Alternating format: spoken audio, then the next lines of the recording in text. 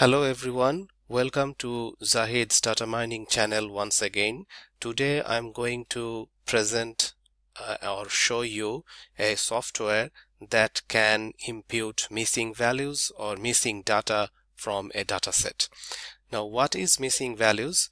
Uh, missing values is sometime in a dataset you may have some values missing for whatever reason sometime it can happen because survey questions were not answered by the survey participants or your data collection uh, sensors or tools did not work properly.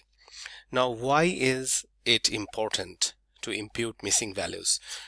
This has been shown in the in the literature in research that if you have a data set with lots of missing data in it then if you apply any data mining algorithms on it for say discover knowledge pattern uh, logic rules and for uh, future prediction then generally your prediction accuracy or quality of the discovered knowledge may not be as good as if there were no missing data there. Now how to impute missing data? That's that's why important to know. Let us assume that this is our data set um, you can see this data set here and it has many records in it um, only few. It's a toy toy data set. These are the records and these are the values in each record. So for example first records first value is ms second value is 85 and the third value is l whereas the second records first value is phd 145 and p. What are they? Uh, this data set uh, is this file is in .arff format which is uh, the format that you need for any dataset uh, to be run in Weka which is a publicly available free download software. So and in this format the, it actually explains what are the values. Say for example at relation job that means the name of the file is job or the dataset is job. At attribute degree. That means the first attribute is degree and possible values are ms or phd and at second attribute is salary. It's a numeric value. That's why you can say 85 145 it can be any numeric value. And the third attribute is class which is l and p which is in this case we are assuming lecturer or professor. So now there are quite a few academics here. Uh, each record represents an academic. Now if we have this data set here there is no value missing but sometime when you collect data then some of the values could be missing. Say for example this is your data set that you have on hand. And in this data set you can see that the first value of the second record is missing. So if that is the case in that case I'm assuming that you don't know the value original value which is PhD for the second record second academic say for example you don't know that uh, uh, value and then in this video in this uh, uh YouTube video I'm going to show you how you can impute this value and get or guess the original value when you don't have access to this dataset. When you don't have access to the original dataset you have collected records and you have some values being missing. Now we have actually presented or proposed or published quite a few papers on how to impute missing values and today I will show you a software that implements one of those techniques.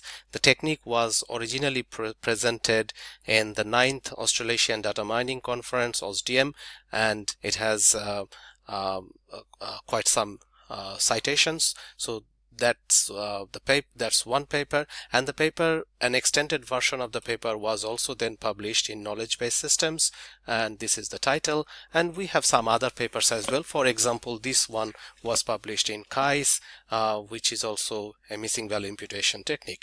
But in this uh, uh, presentation today. I will be presenting the paper that was published in this paper knowledge based systems and uh, and also in this conference and the name of the technique is called DMI so you can actually download the freely available downloadable version of DMI um, from my webpage. Um, Zahid Islam. Just Google search and then you may find my web page there. If you go to the code section you will see there are some uh, code available there. You can download them.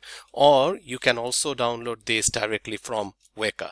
How to install Weka? Then you can actually go to my uh, data mining channel Zahid's data mining channel which is a YouTube channel and there are quite a few few videos uh, that shows that will show you how to install Weka it's a freely available software.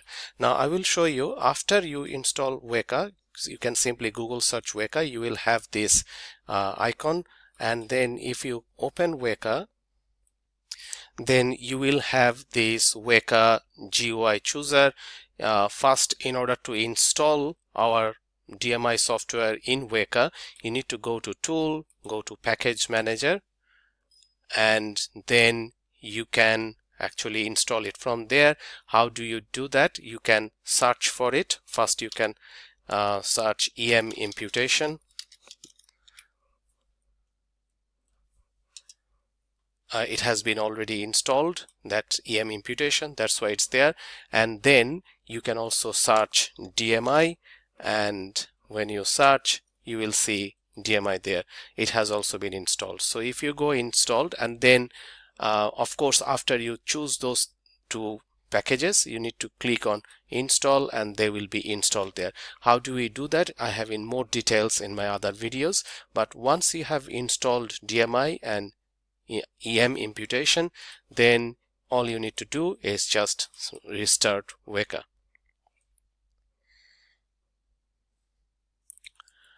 Okay. After you restart weka you need to go to the explorer and open a dataset. So here you have seen that I have a dataset uh, called data missing.arff. I will open this dataset in Weka.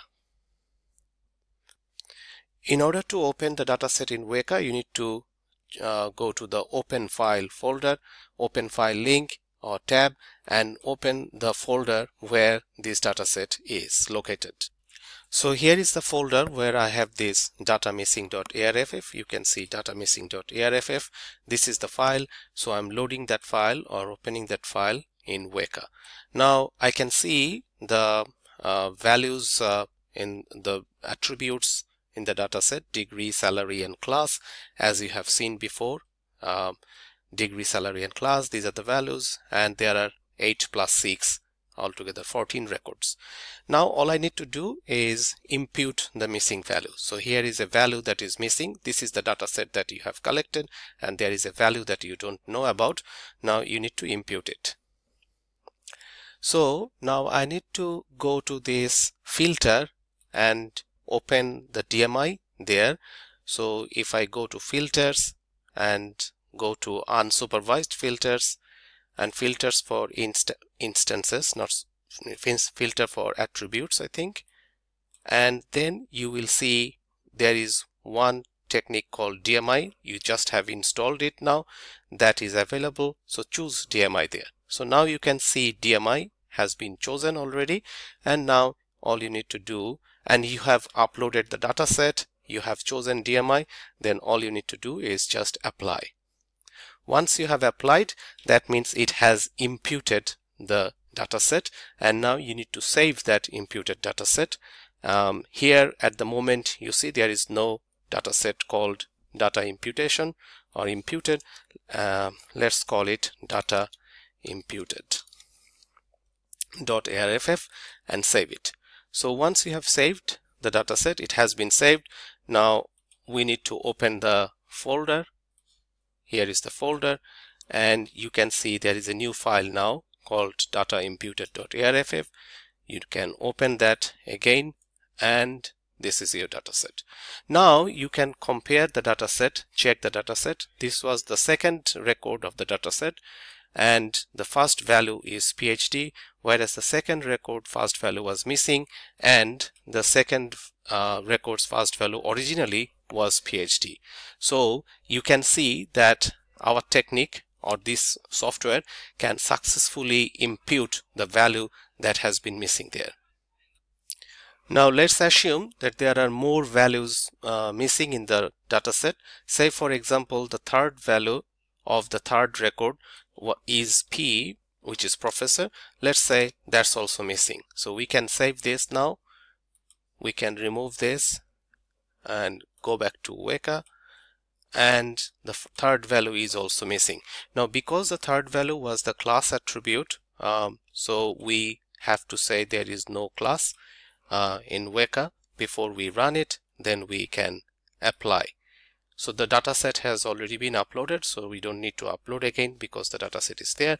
You can apply and then save it as so let's call overwrite the data imputation.arff and save it as data imputation.arff so the dataset has been saved and if I now open the dataset so the dataset has been saved and if I now open the dataset again I can see this is my imputed data set. The third value was missing and that third records.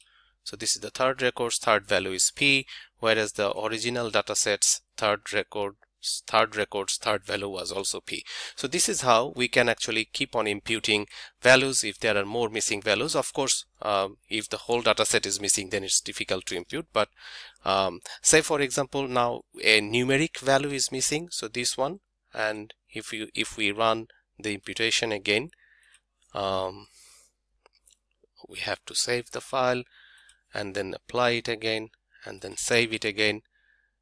Imputed.arff okay we have to reopen.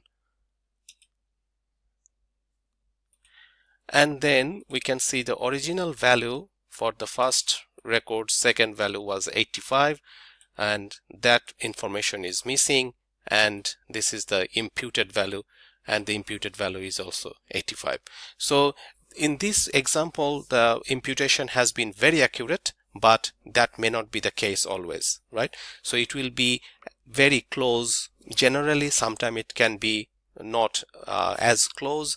It's but mostly it will be a good imputation but you need to be aware of it that sometimes imputation can be not very accurate so it depends on the patterns, how strong the patterns are in a dataset. Thank you very much. Thanks for watching. I hope this will help. If you are interested more about how the imputation techniques work, please feel free to go to my webpage at zislam, csu. csusap at csu.edu.au um, slash zislam and you can actually go to the publication link there and you can see all these papers um, um, uh, that I have published so far and the preprint version of most of the papers are available there. So you can find the preprint versions or if you have any question or if you want a particular paper uh, the original postprint version of the paper do not and you are finding it difficult to download it please feel free to email me. Um, there is a link on my web page as well for uh, my email address. Thanks for watching